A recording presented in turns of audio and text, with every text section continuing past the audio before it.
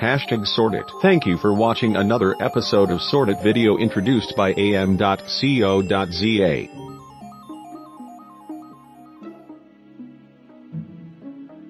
Slide the pinch rollers and line them up on top of the high friction grit roller which are marked with a colored sticker.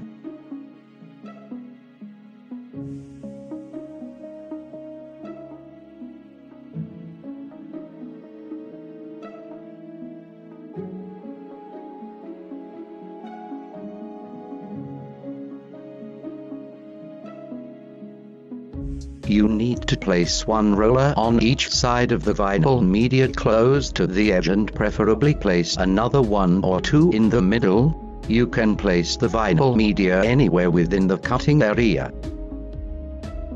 Choose the best place suitable for the vinyl media width. Now press downwards on the pinch roller to lock the vinyl media in place. Lock the pinch roller from left to right one by one.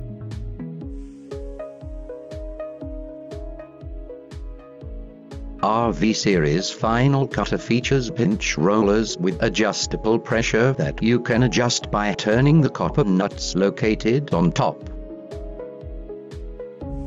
Stretch the spring to increase the pressure and release the spring to lower the pressure. Remember adjust both nuts to balance the pressure.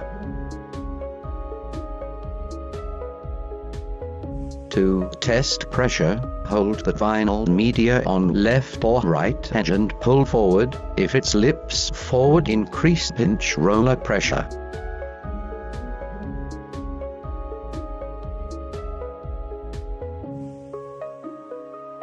Now that the pinch rollers are correctly in place, you can start your vinyl cutting work.